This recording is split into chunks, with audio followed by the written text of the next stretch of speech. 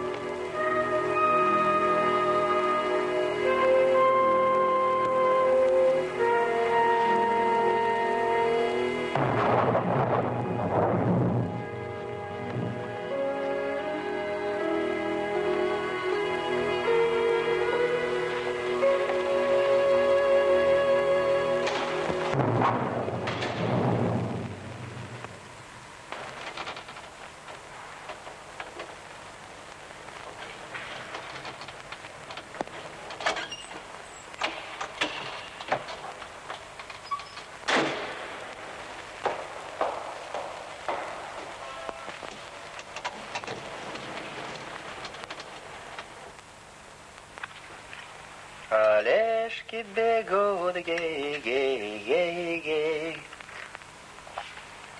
Яку так счастью везут, гей-гей-гей-гей.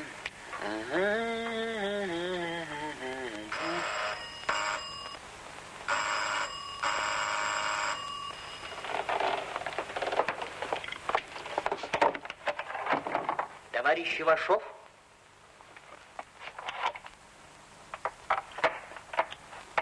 Я не ошибся. Да, это я. Но я вас что-то не припоминаю. Неважно. Я все-таки хотел бы знать. Мы одни? Да. С кем имею честь беседовать?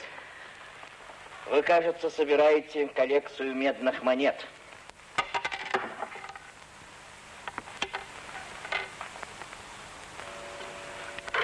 Да. Теперь, кажется, я вас знаю. И все-таки я не знаю вашего имени. Приступим к делу, капитан. Что вам от меня нужно? Передать по вашему передатчику мою радиограмму, только и всего. О чем? А вот это вас не касается. Передавайте. Вы, кажется, забыли, что я вам не подчиняюсь. Если моя любознательность вас обременяет, идите на телеграф и передавайте оттуда все, что вам угодно.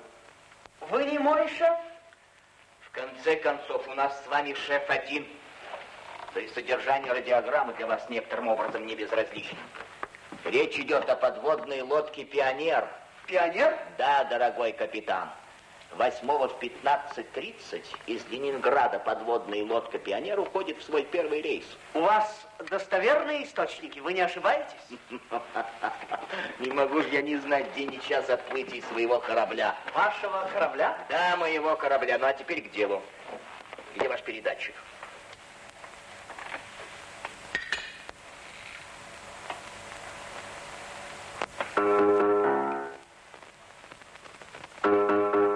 Я вас слушаю.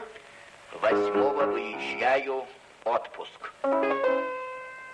Так,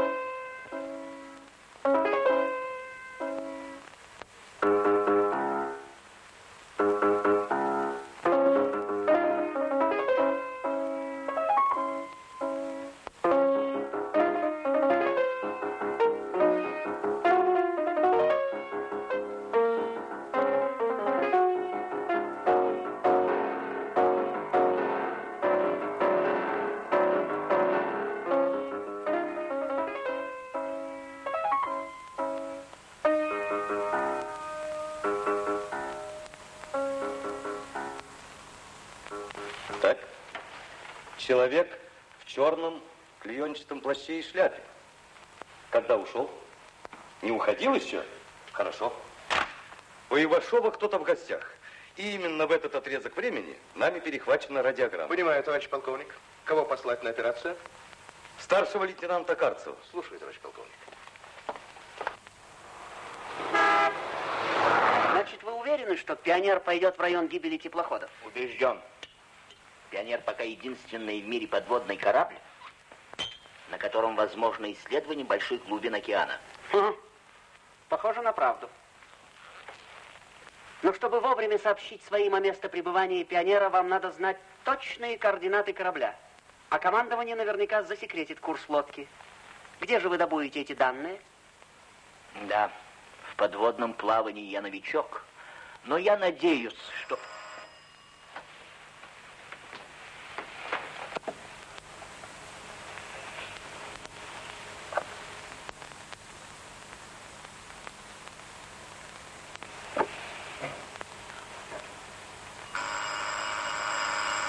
Они пришли.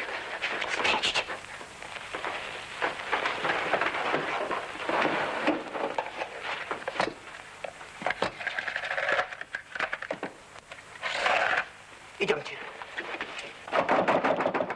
Откройте Ивашов. Прощайте, капитан. Ваша явка, пароль. Рига, гостиница «Интурист», администратор Сидорина, пароль «Наша монета» для телеграмм «Анна».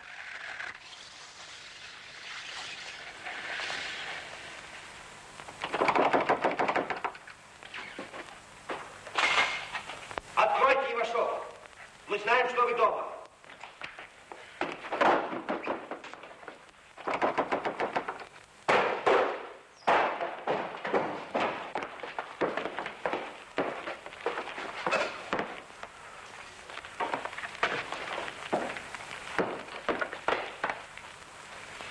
Опоздали. Мертв. Обыскать.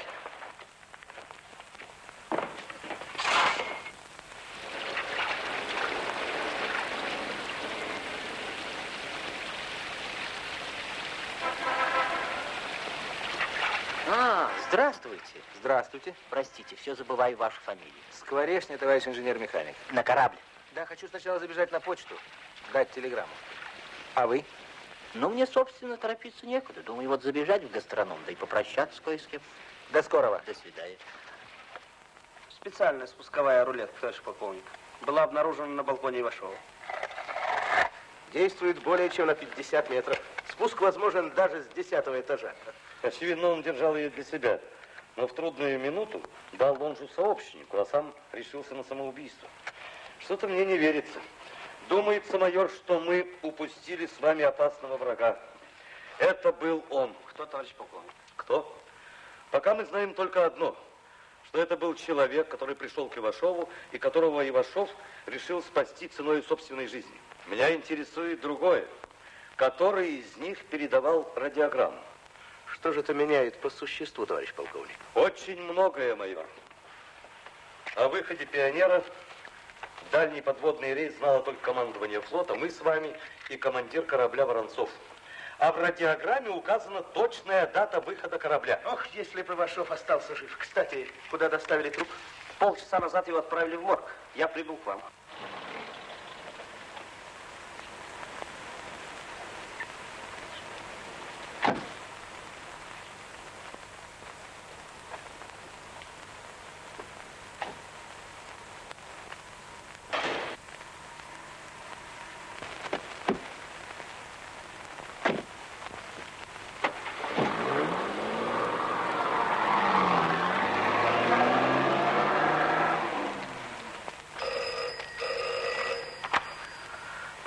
Базов слушает.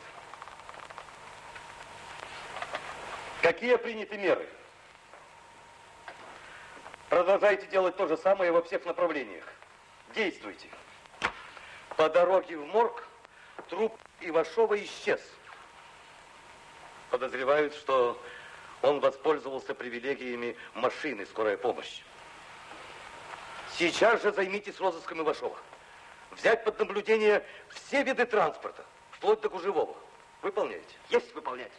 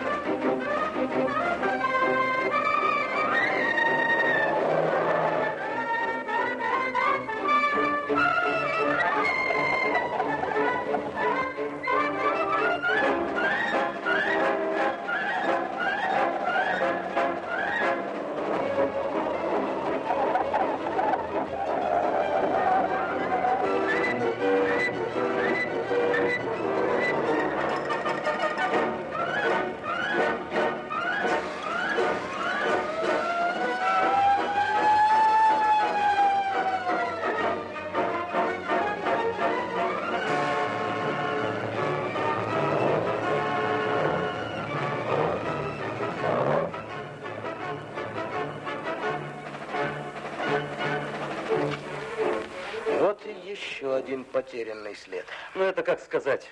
Нет худа без добра. Мертвый Ивашов для нас бесполезен. Живой же, если он не ухитрился умереть вторично, всерьез, он будет передвигаться, естественно, оставлять следы. Нам нужно с вами подумать о незнакомце в плаще. Что, если он... На лодке пионер? Да нет, не может быть. А если он действительно там? Что тогда? А тогда нужно задержать отплытие лодки. Это невозможно. Лодка выйдет в назначенный день и час. Необходимо срочно установить причину гибели теплоходов на месте. Так что же делать, Василий Иванович? Обезвредить врага на самой лодке. Да, но для этого надо знать врага. А вы вспомните радиограмму. Если встречу брата, сообщу дополнительно. Сообщу, понимаете? Значит, враг на лодке? А из подводного плавания сообщить штука непростая. Надо ухватиться за это звено с помощью капитана Воронцова. Вы вызвали его? Да, товарищ полковник. О, уже утро.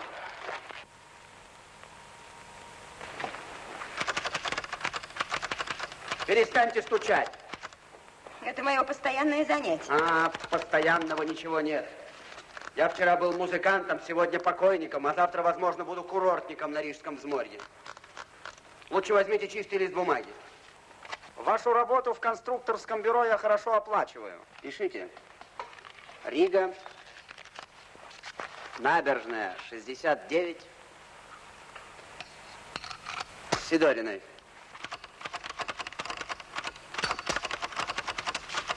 Днями приезжает брат. дальше. Встречай, Анна. Все? Там поймут. Одевайтесь. Нам удобнее выйти вместе. Это последнее, что я от вас требую. Остальное придется сделать самому. Не лучше ли вам передохнуть здесь? Спасибо, я тороплюсь в гости. Ага. Проводите меня. А может, это опасно? Вы пойдете один? Нет, мне так удобнее.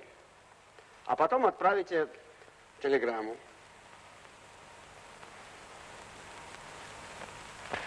Какая нужда во мне, Василий Иванович? Действительно нужда. Скажи мне, кто кроме тебя знает, что твоя лодка должна выйти именно сегодня? Кроме меня никто. Никто. Знает еще и враг. Как?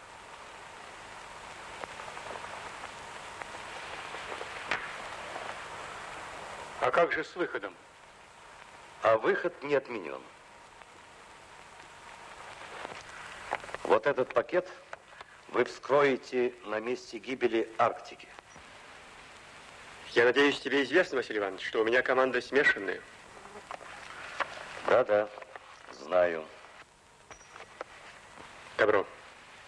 Тех, кто на суше, это мы проверим сами. А тех, кто на лодке, ты возьмешь на себя. Мы тебе поможем. Хорошо.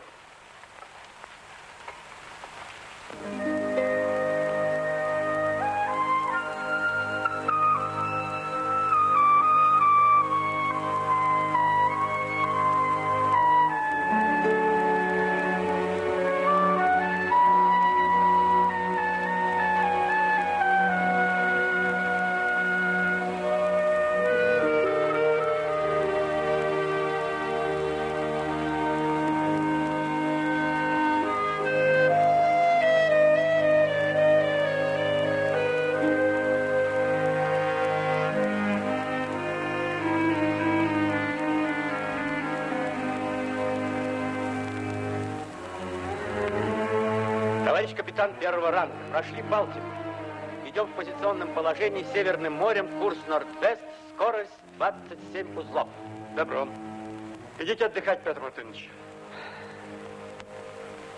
Как настроение команды? Прекрасно, товарищ командир. Матросы заняты по расписанию, свободные от вахты, отдыхают в кубрике. Спокойной ночи. Спасибо, Николай Борисович. Центральный пост. Иду на погружение. Глубина 300 метров.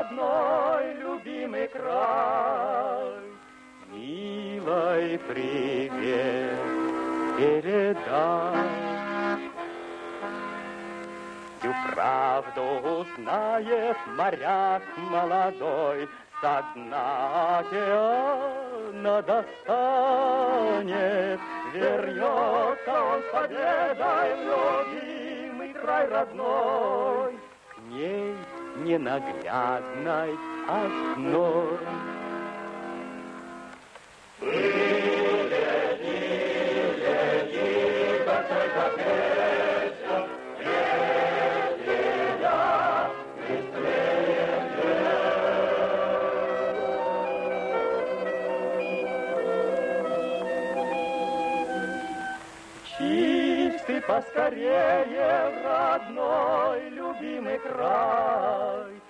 Милой привет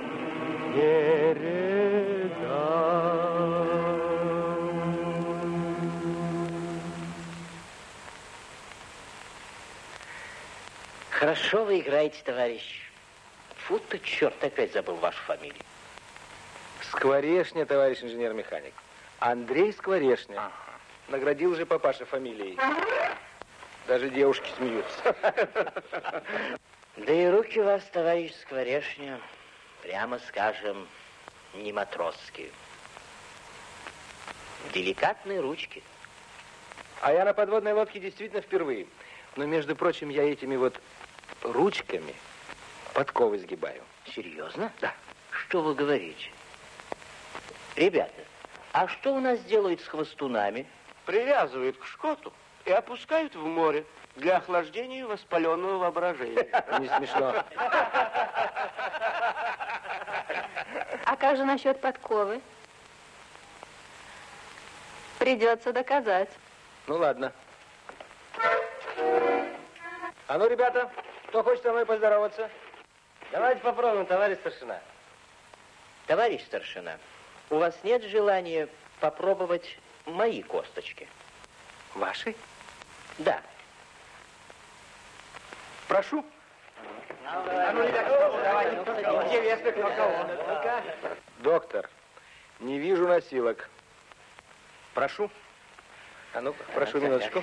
Так, так, давай. Нет, вы садитесь, садитесь. Пожалуйста. Да, садитесь. Так, ну, все против меня. Ну.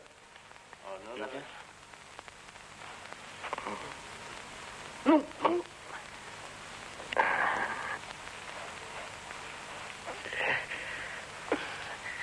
Так, так. Есть. Сдаюсь. Хорошо, что вовремя сдались.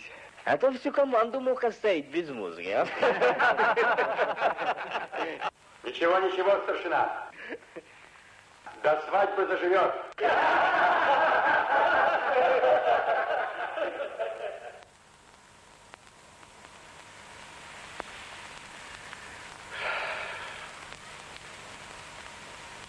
Кто же?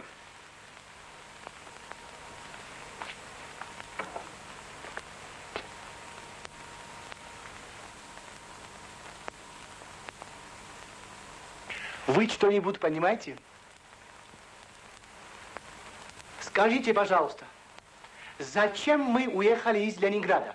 Вы о чем, молодой человек? Нам обещали Стрекорова, а держат нас внутри лодки, как консервной банки. Летим, как угорелые, неизвестно куда. Да, действительно, как в банке. Как бычков в томате. А у меня тоже, понимаете, планы, мечты. Планы, мечты. Ну как можно сравнивать? Ваши рельефы и течения никуда не денутся. А таинственные обитатели океана не будут следовать за лодкой и дожидаться, когда мне разрешат познакомиться с ними. Вы куда, капитана? Нет уж, позвольте, молодой человек. Опять, молодой человек? Простите, в таком состоянии вам с капитаном разговаривать нельзя. Поговорю я. Нет, теперь поговорю я. Ну, позвольте. Зачем нужно было мне въезжать в научную экспедицию? Почему вы держите мою замечательную батисферу на приколе? Два стакана чаю. Так больше не может продолжаться. Успокойтесь, успокойтесь, дорогой профессор. Прошу вас. Арсен Давидович, я прекрасно понимаю ваши чувства. И в дальнейшем... Почему дальнейшее? Почему? Извините. Прошу немедленно высадить меня на берег. Я не могу так. До ближайшего берега 2000 миль. А я со скоростью самолета спешу на место гибели Арктики. И, может быть, спасу людей. Людей? А почему я об этом ничего не знал? Для пользы дела, дорогой коллега, не все все должны знать. Вы меня понимаете? Извините, пожалуйста. Располагайте мной как вам угодно. Прежде всего прошу вас выпить стакан чаю.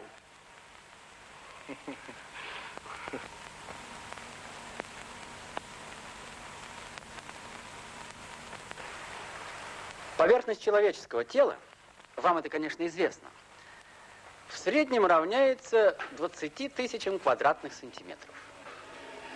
Таким образом, давление воды на все тело человека, ну, на глубине, скажем, 100 метров, достигает 200 тонн.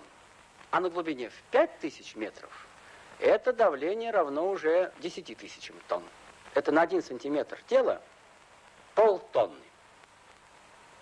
И все-таки вот в этих скафандрах последней конструкции, в которых, кстати, водолаз может передвигаться со скоростью, превышающей скорость любой рыбы, даже на глубине в несколько тысяч метров человек остается цел и невредим.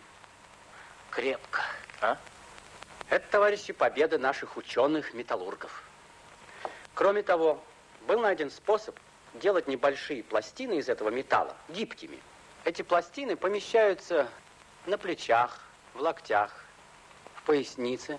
Одного не могу понять. Как это наши водолази в таком скафандре будут плавать быстрее рыбы? Внимание! Товарищу Дружинину явиться командиру корабля. Повторяю, товарищу Дружинину немедленно явиться к командиру корабля. Товарищ Горелов. Да. Расскажите вкратце об устройстве скафандра. Хорошо. А меня, товарищи, прошу извинить. Будьте любезны ответить, как это наши водолазы в таком скафандре будут плавать быстрее рыбы? Наш новый водолазный скафандр представляет собой подводный корабль в миниатюре. На спине скафандра смонтирован миниатюрный реактивный двигатель, но достаточно мощный для передвижения наших водолазов.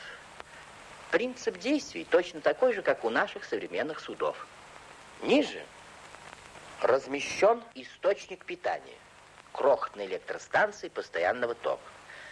Она питает водометный двигатель и локтевые пилы. Дальше.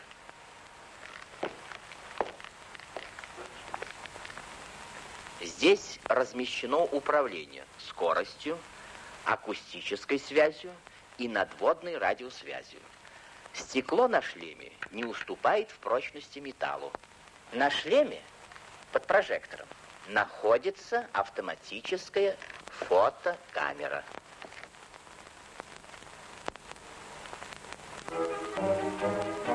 Арсен Давидович, смотрите, кит. Кашалот. Нет, это полосатик. Кашалот. Это видно по его повадкам. Как он мог попасть в эти широты? Они прекрасно себя чувствуют в любых широтах, исключая Заполярье. Какой великолепный экземпляр! Вот бы вам его в аквариум, а?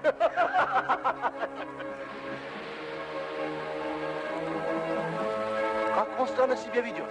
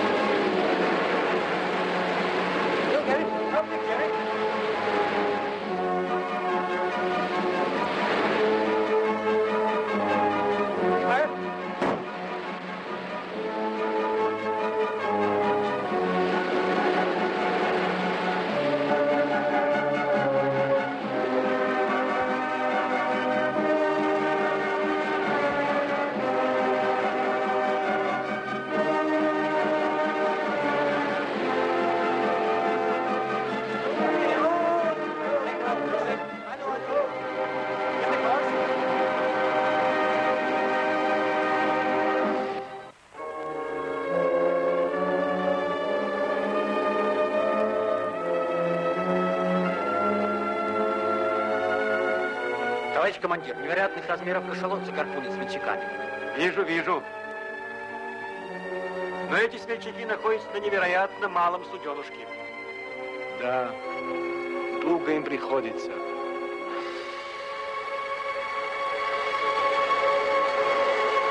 Смотрите, что он с ними делает.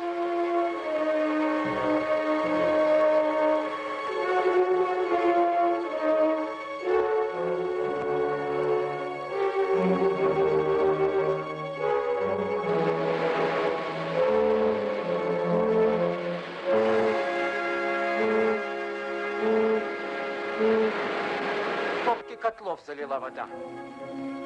Теперь они совершенно беспомощны. Неужели они погибнут на наших глазах? Как же им помочь? Всплывать мы не можем. Дежурным акустика. Акустик, ультразвуковой излучатель изготовить. Цель прямо по носу кошелот. Дистанция 50 кабельтовых. Есть. Пусть эта добыча вознаградит смельчаков.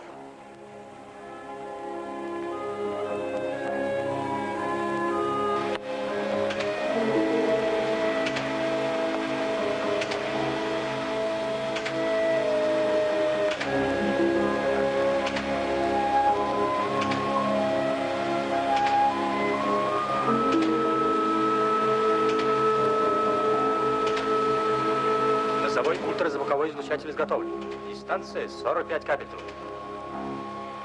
Дать луч. Есть луч на полную мощность. Цель – кашалот.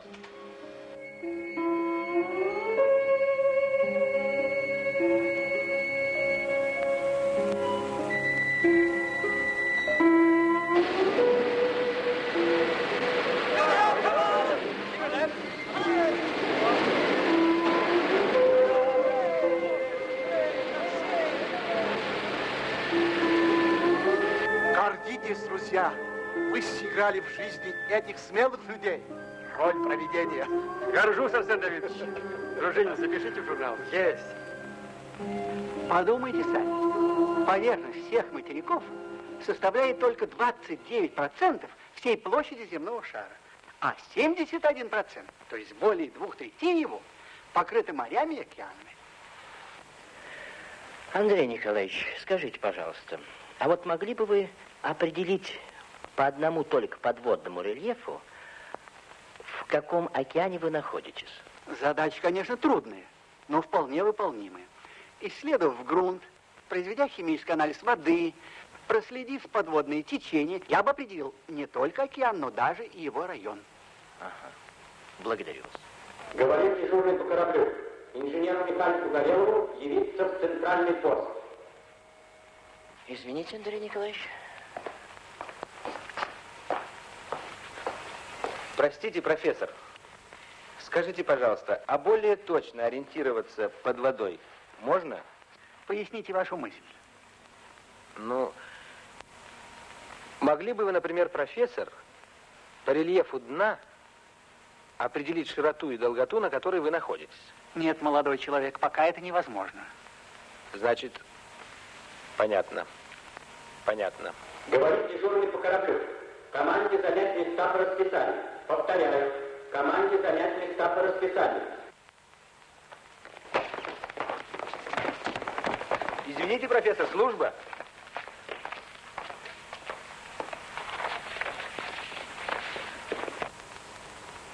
Товарищ командир, айсберг? Да, айсберг. Странное дело. Май месяц, в этих широтах уже зима, и вдруг айсберг.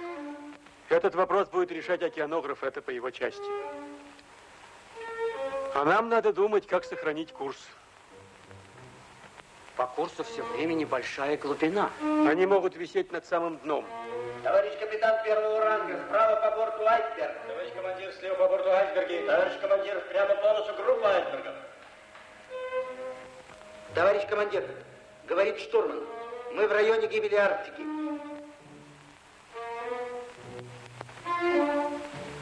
Положение серьезное, товарищ командир.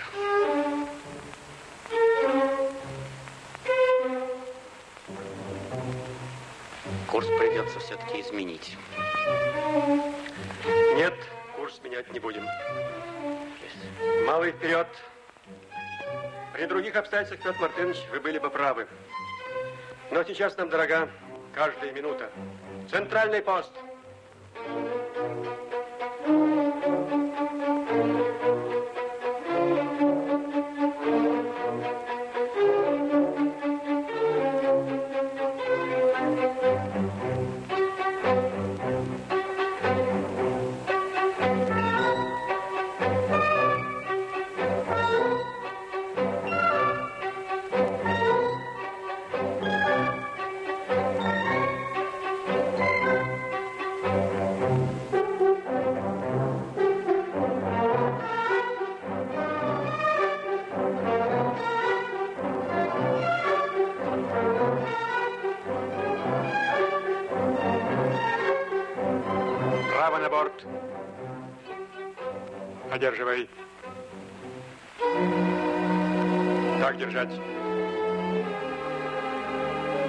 Mali.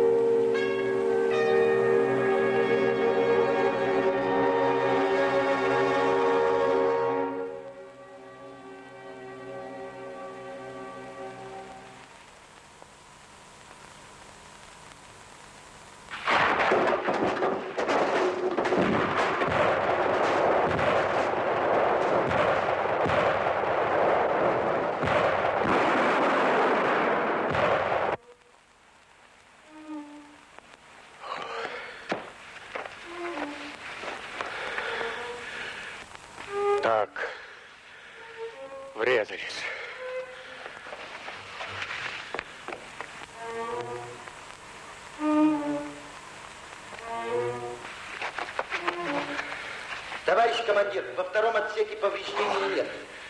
Товарищ командир, в носовом отсеке двое легко раненых. Микрофон. Товарищ Микрофон. в седьмом отсеке двое раненых. Внимание! Говорит командир корабля. Команде занять место по аварийной тревоге. Врача в седьмой отсек.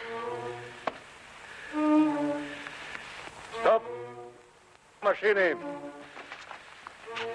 Центральный пост. Стоп машины.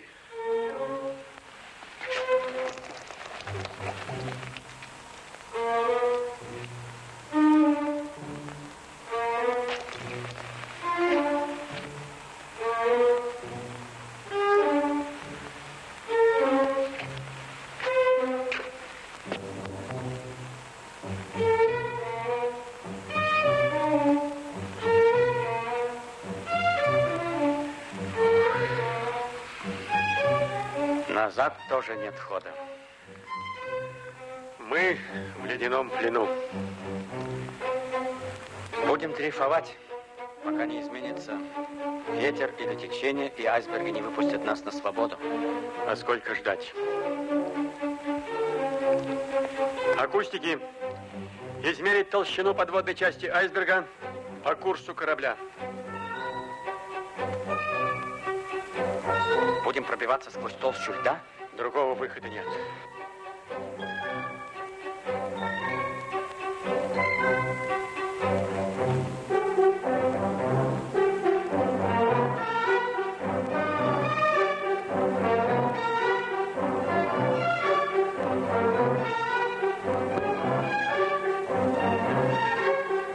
Товарищ командир, толщина льда по курсу 810 метров. Акустики. Включить носовую термическую полосу. Центральный пост. Самый малый вперед.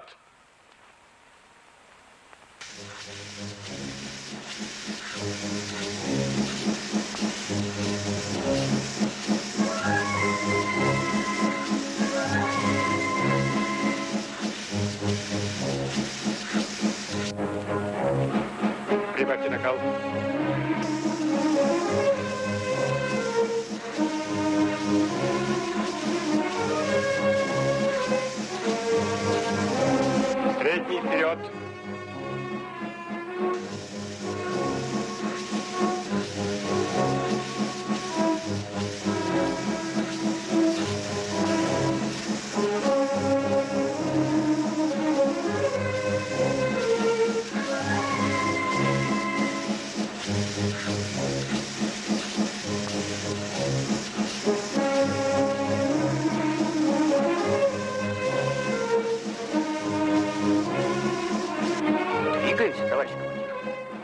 Накал. Центральный пост. Средний вперед.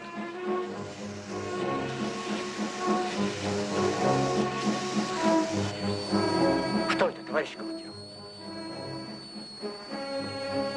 Пар, пар. Он не успевает превращаться в воду и прорывается между корпусом лодки и льдом.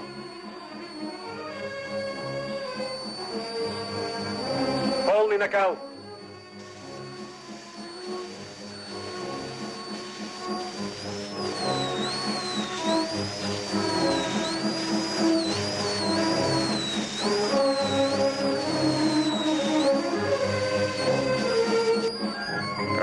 57 метров. Самый полный вперед.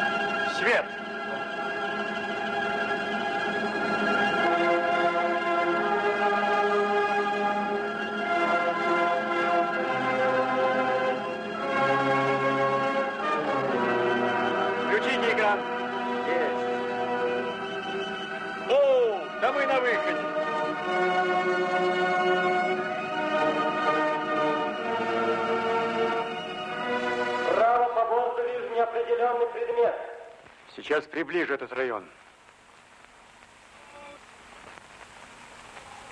Шлюпка. Товарищ Дружин, примите шлюпку. Есть. Центральный пост. Курс Нордост. Скорость 45 узлов. Плытие. Товарищ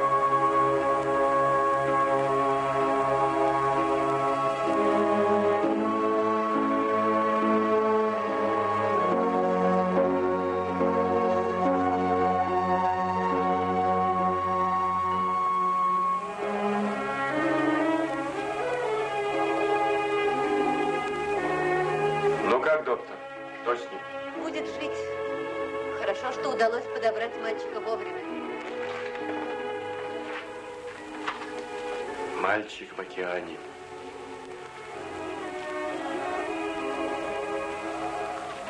Павлик. Павлик, сын капитана Арктики. Павлик, посмотри на меня. Ты узнаешь меня?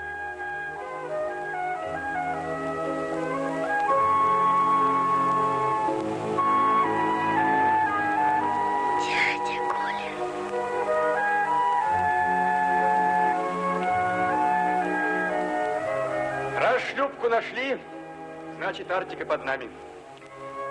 Ну что, Петр Матвеевич? Ничего, товарищ командир. Спустились 10 миль по ветру. Горизонт чист. Может быть, пойдем на погружение? Нет-нет, будем искать людей. Центральный пост, курс Юитвест, самый полный. Скажи на милость, Павлик, Ну что ж, хоть одного нашли.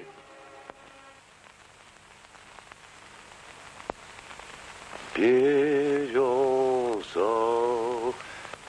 Эх ты моя березонька,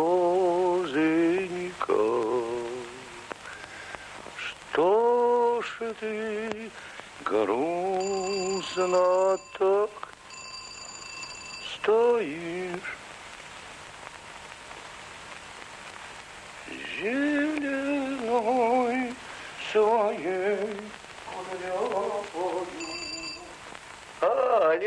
Бегут, бегут, якуток к счастью везут. Вы меня извините, земляк. Ничего. Что я так поздно? Ничего, голубчик. А то я здесь в тоске пребываю, один, совсем один.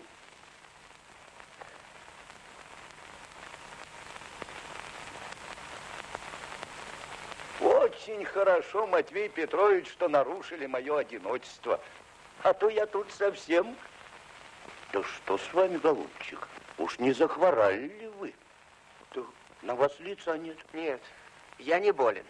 А что такое? Я двое суток не спал. Понимаете, не сомкнул глаз.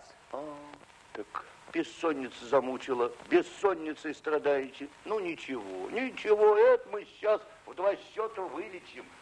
Э. Оп! Фух. Умбачвили, коли толи, коли начо. А, вуаля! Вот выпейте рюмашек сибирской настоечки, а потом бай-бай домой, в постельку. Вы меня не поняли. Я не могу идти домой. Меня должны арестовать. Арестовать? Нет, вы шутите. Да, меня хотят арестовать. И вы должны меня спасти. Я? У вас нет другого выхода. Если меня арестуют, то вслед за мной арестуют и вашу дочь.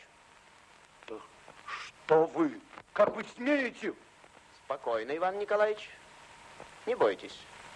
Стрелять не буду. Но это подействует на вас не хуже пули. Ваша дочь два года была за границей. Да, она работала в советском посольстве врачом. Но какое это имеет отношение? Прямое. Ваша дочь врач быстрых предатель. Это ложь. Не верите? Тогда полюбуйтесь на эту фотографию.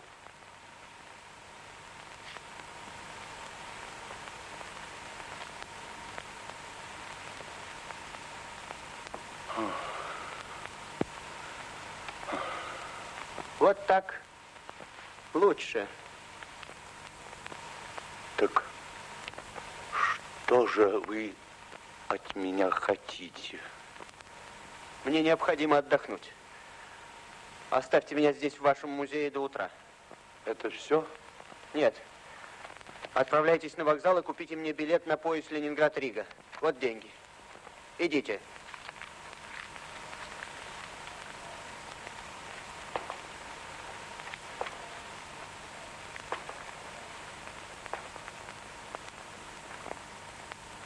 Вы куда? Вы же просили меня купить вам билет. Только не вздумайте хитрить. Вместе со мной погибнет и ваша дочь.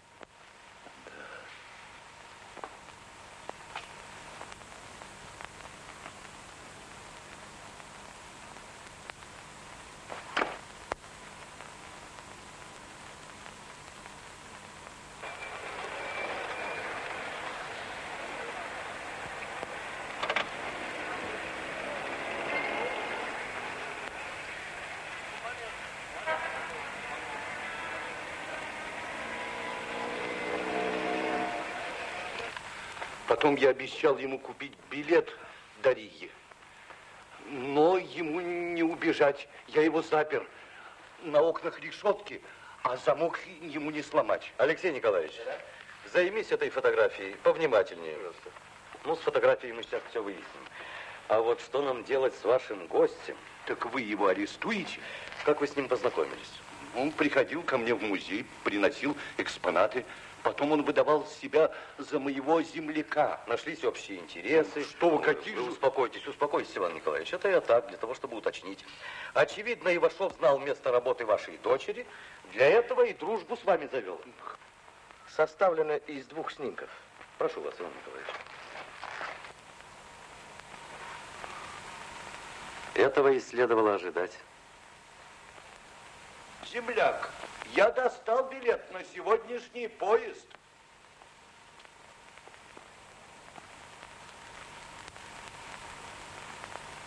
Земляк! Достали билет? Да, да, достал. Давайте. Береженого Бог бережет. Да, да. Давайте билет. А, вот. Э, Ради дочки. Ага. И фотографию. Ту, заграничную.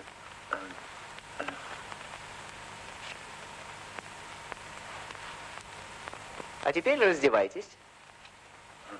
Ради дочки.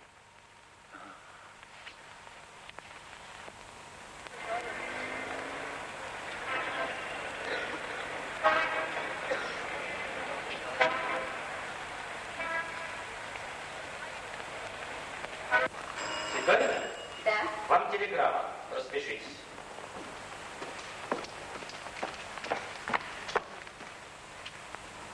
Из Ленинграда?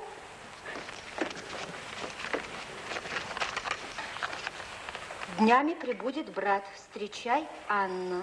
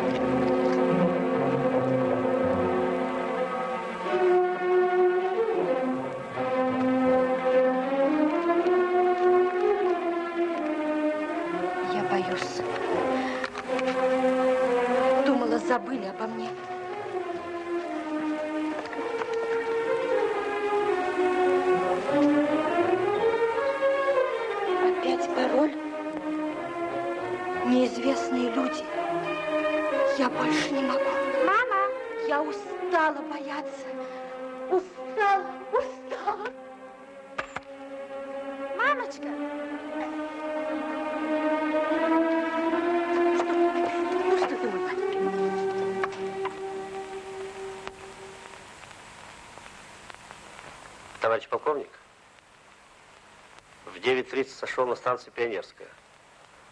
Пассажира не встретил. Понятно. Есть следует по месту назначения.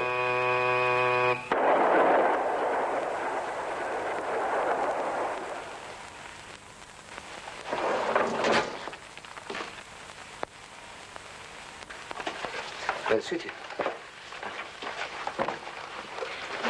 Нельзя, нельзя, товарищ Скворечный. Слушайте, доктор. Не пущу. Ну, я слово Не даю, пущу, я с ним разговаривать не стану. Передам витамины и все. Нет, Ну, доктор, я вас как человека прошу, поймите, мне же... нельзя, вы понимаете? Старшина. В чем дело, доктор? Я не пускаю к Павлику старшину Скворечню. Понимаете, мальчик еще очень слаб. Товарищ капитан первого ранга. Выполняйте указания врача.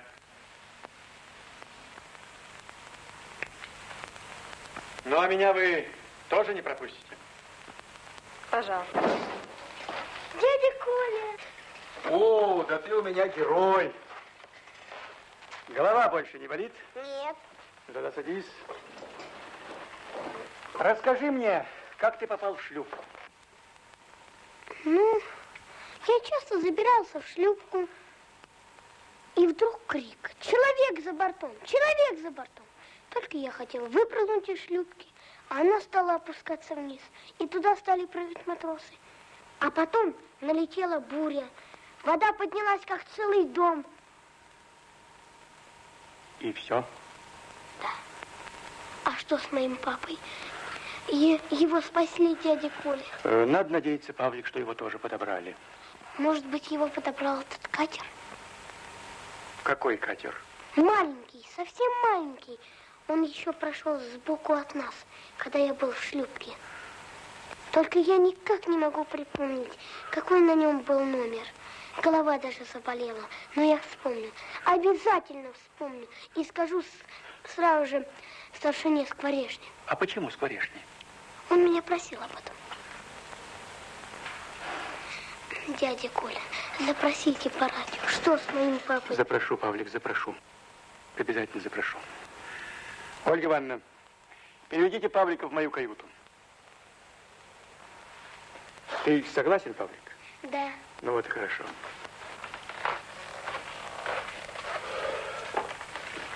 Так надо. Там ему будет спокойней. Хорошо.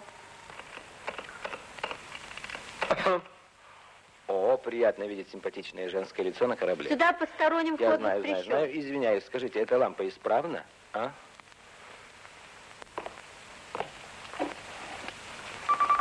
О, Козловский. Исправно. Спасибо за помощь. Будьте здоровы.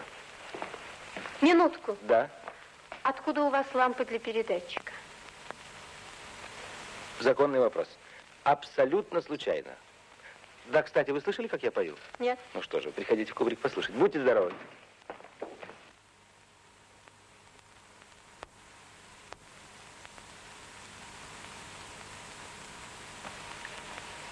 Герой, ты что же, сбежал от врача и разгуливаешь по кораблю?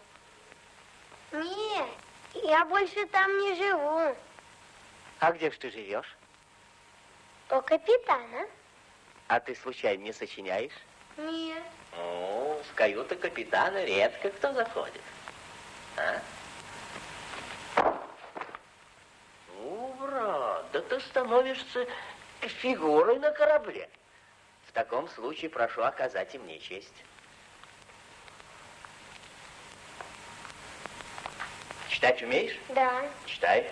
Каюта инженера-механика Горелого. Молодец, прошу. Так вот хорошо.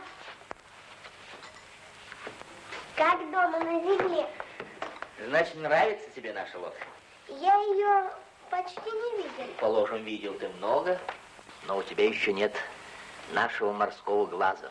Вот моряку достаточно одного взгляда, чтобы сразу и навсегда запомнить каждый предмет. Ну и я так могу.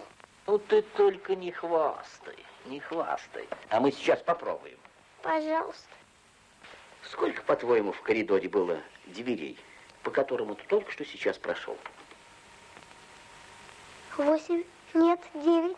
Одиннадцать дверей. Ну, пошли дальше. Пошли. А сколько в медицинском шкафчике возле твоей постели в госпитале было всяких инструментов? М? А я и не заметил. А еще моряком хочешь быть? Центральный пост. Принять управление. Да-да, я вас слушаю. Может быть, все это глупо. Но я все же расскажу. Ну-ну. Старшина Скворешня принес ко мне специальную радиолампу и просил проверить, как она работает. А что ж тут особенного?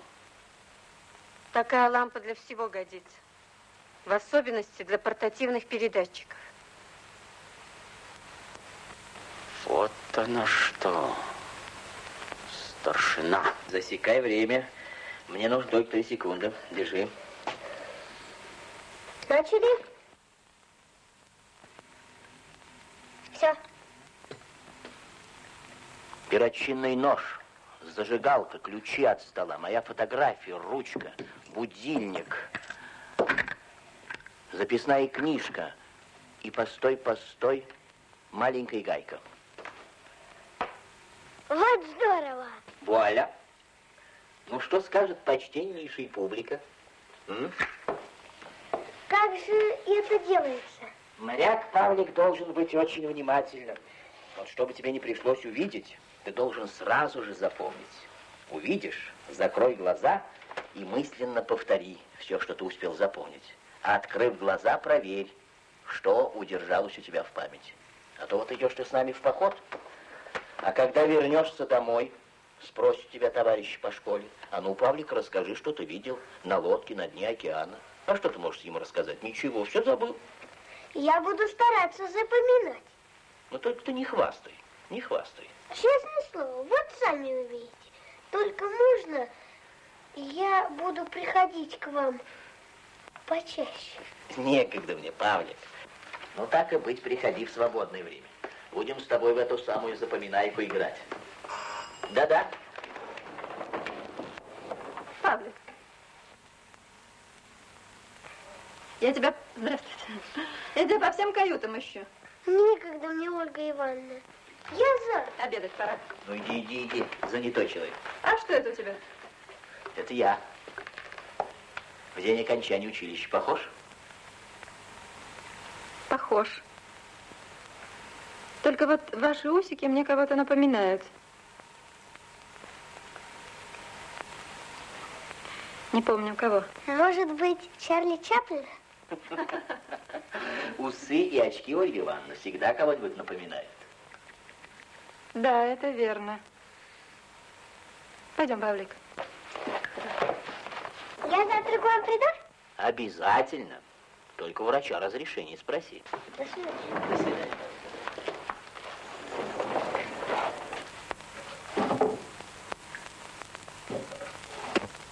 Усы и очки Ольги Ивановны всегда кого-нибудь напоминают.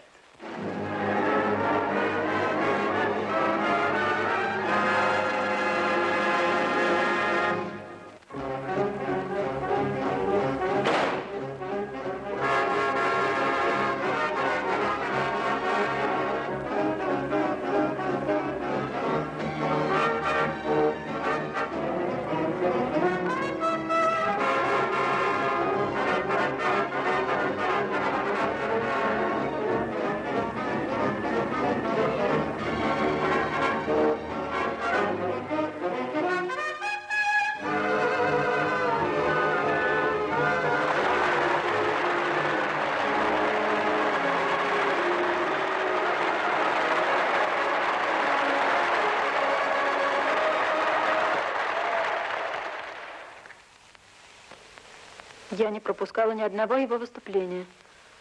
А потом, в сорок первом году, узнаю, что он на репетиции разбился. Да, у отца в музее хранится афиша этого аттракциона и газета с некрологом и портретом. А какое же отношение имеет механик Горелов к этому покойнику? Тот цирковой артист и инженер Горелов одно и то же лицо. Так вы говорите, что у вашего отца хранится некролог и афиша этого артиста? Да. Вы извините, что я побеспокоил вас в неурочное время. Ну что вы, что вы, пожалуйста, такое дело. Прошу. Вот то, о чем говорила Воронцову моя дочь. Вот. Лоппинг. Мертвая петля. Эту афишу я выпросил у Горелого после поездки его в Германию. Континенталь. А вы не скажете, в каком году состоялась эта гастроль? Нет. Ах, вот и дата. 17 сентября 1938 года.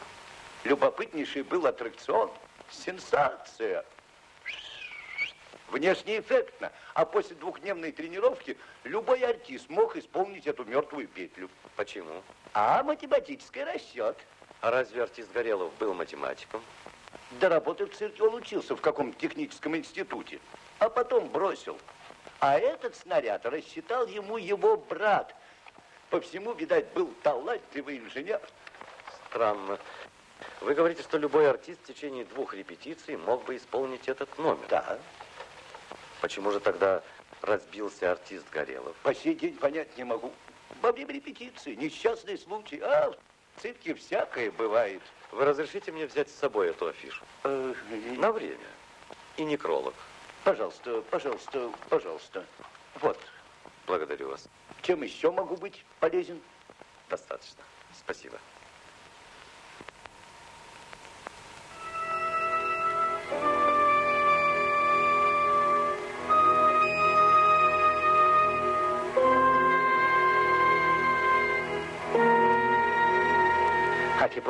Все-таки нет. Найдем, Андрей Николаевич. Не имеем права не найти. Товарищ командир, спустился до грунта глубина 3500 метров, ничего нет. Раз его нет на такой глубине, будем искать в расщелинах подводного хребта. Центральный пост. Глубина 300 метров, курс 185, скорость 45 узлов.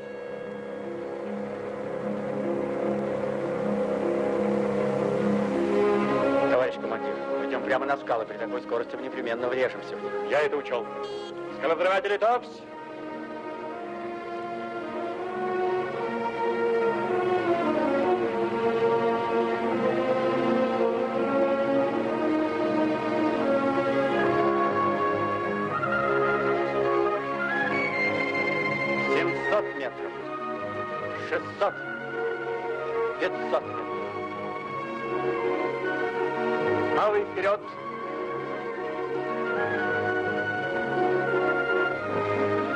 Tragedy.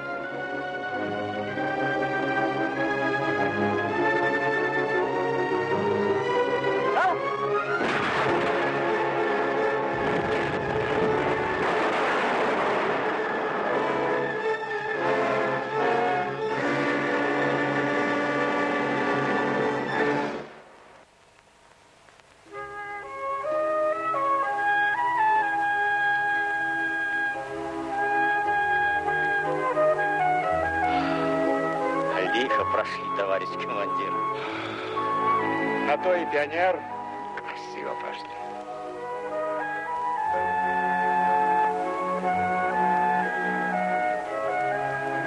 Что это? Арктика. Пока это только потонувший корабль. Арктика. Да. Вот теперь это действительно Арктика.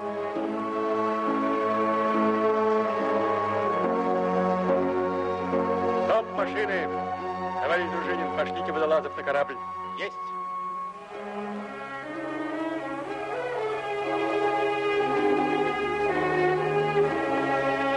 Говорит центральный код. Включаем микроэкран. Но почему так исковеркано дно океана?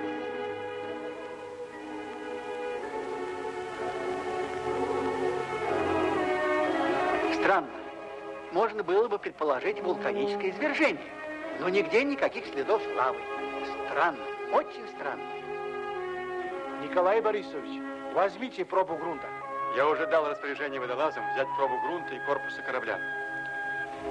Здесь, несомненно, диверсия. Диверсия? Да, дорогие коллеги, гуманные цели нашей экспедиции, спасение людей, выяснение причин катастроф и ваши научные работы проходят в обстановке исключительно напряженной. А что вы имеете в виду? Может так случиться, что мы не успеем выяснить тайну. Как мы подвергнемся той Да. же участи. Это не исключено. Повторяю, команде занять места по расписанию.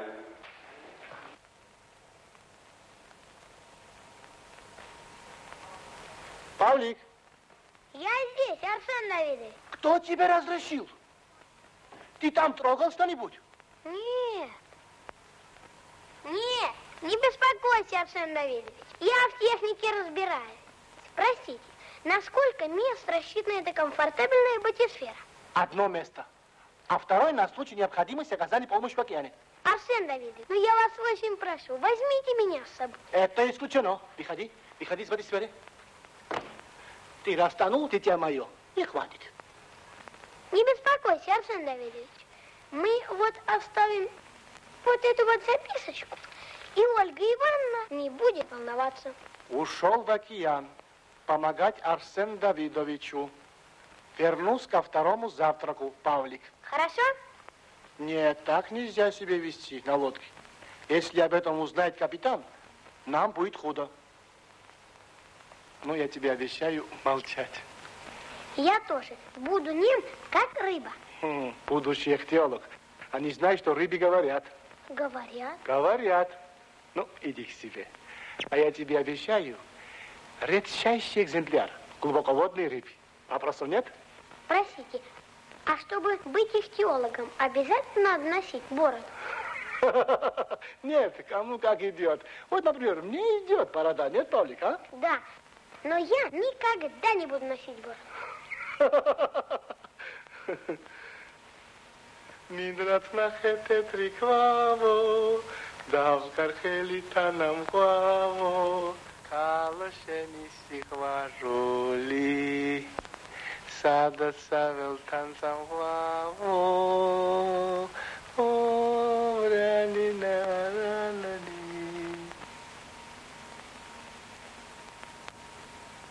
Центральный пост. Батисфера готова к спуску в океан. Хорошо, Арсен Давыдович, не волнуйтесь. Выпущу вслед за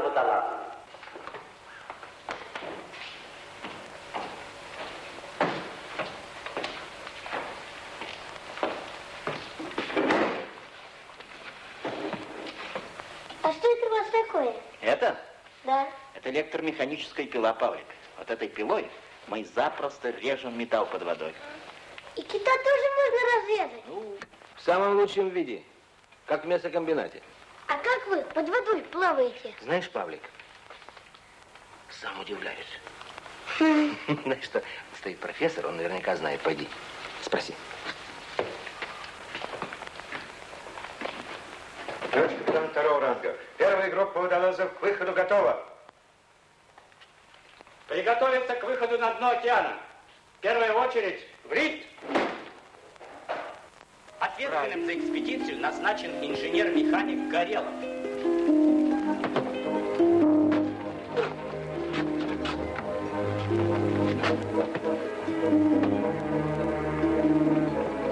Начинаем выход на дно океана. В первую очередь в лифте, вторая приготовиться. Вот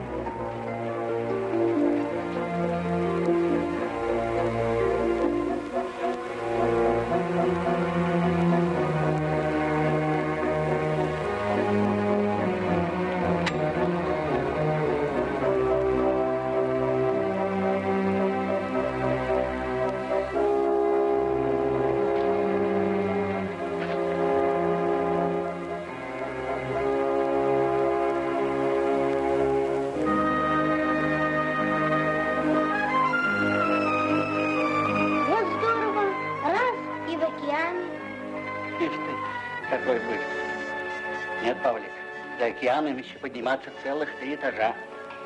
И в каждом ворота, как в шлюзе. А зачем так? Можно как лифтом в доме.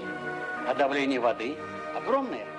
Попробуй, сдержи-ка одними воротами. Раздавит, как не было.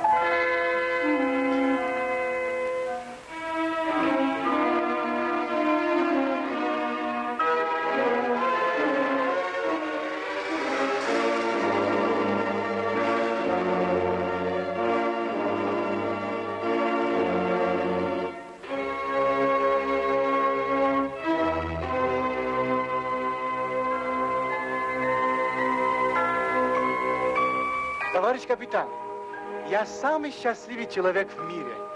Если вы только видели, здесь целый сад из активных прожорливых хищниц. Я сейчас их сфотографирую.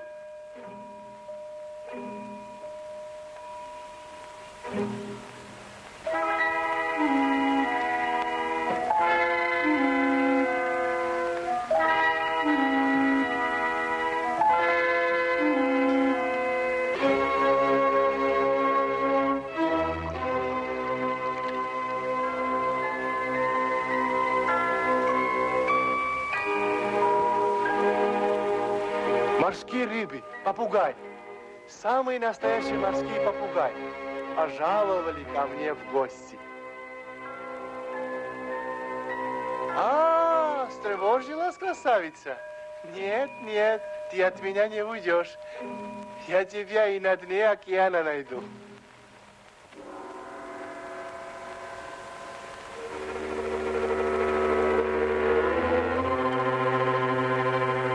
Дорвался. Чего он носит?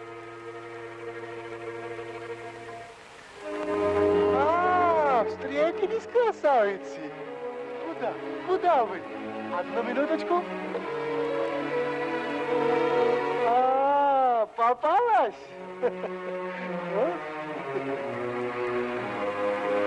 Арсен Давидович, говорит Воронцов, прошу вас, не забирайте слишком далеко. Не волнуйтесь, дорогой капитан. Все будет в порядке.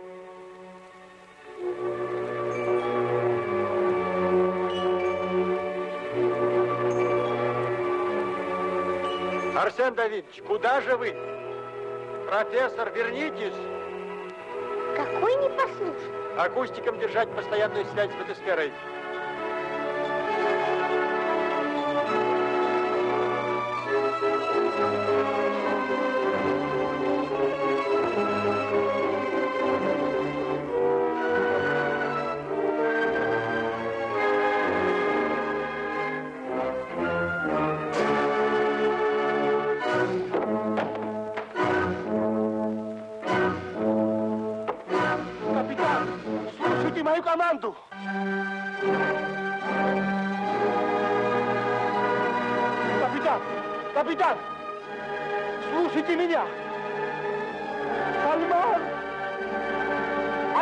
Сальман, отвечайте.